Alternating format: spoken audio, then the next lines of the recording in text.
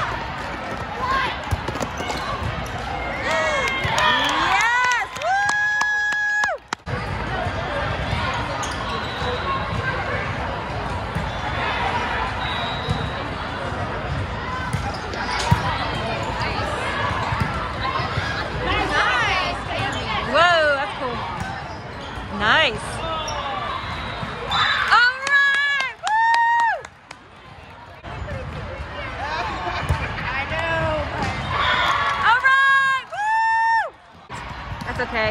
It was an impromptu thing.